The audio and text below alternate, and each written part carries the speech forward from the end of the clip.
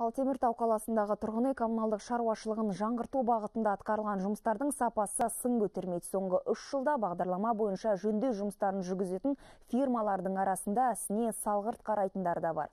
Жұмысы шала компанияға ұрынған теміртаулықтар көктем келіп, күн жылынғанда әуре сарсаңға түсті. Жөндеуден кейін жыл өтпей жатып шатырдан су сорғалап тұрғындардың берекесін қашыруда. Теміртау қаласы Панфилов көшесіндегі үшінші үйдің тұрғындары күн жылғаннан бері төбеден сорғалаған судан әбден мәзі болған. Күніміз қолымызға шелек алып жүгірумен өтеді дейді наразы тұрғындар.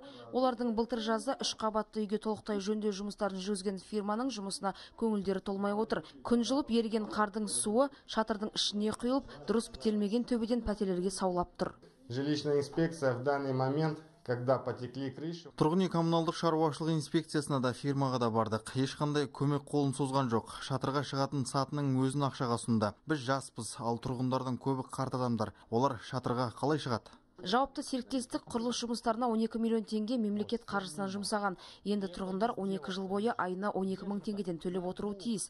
Осы мәселеге қатысты тұрғындардың бармаған жері баспаған тауы қалмапты. Шағымданып әкімдікке де ісіне салғырт қараған фирмаға да барғанымен еш нәтиже шықпаған. Жители вообще должны были предупреждены. Тұрғындар өздері кінәлі. Олар шатырдағы қарды уақытында тазалаған жоқ. Бұл үйдің жылу жүйесі шатырдан кіреді. Ерген қар ішке кіріп жатыр. Төбені сапалы етіп жасадық. Оған шүбә келтірмеймін. Спустя два года уже никаких замечаний от жителей не возникало. Вот, есть у нас... Екі жылдан бері тұрғындар тарапынан ешқандай шағым түскен жоқ. Фирмалар 5 жыл кепілдік мерзімінде жауапкершілігіндегі нысандардан кемшілік шықса қайта жөндеуге міндетті. Алайда біз мұндай проблемамен әлі кезіккен жоқпыз. Кездескен жағдайда фирманың нысанды тапсыру кезіндегі келісім шартына қол қоймаймыз. Тұрғындар фирма басшылығы үй шатырын қайта жөндеп беруден бас тартқандығын естіп ашынуда.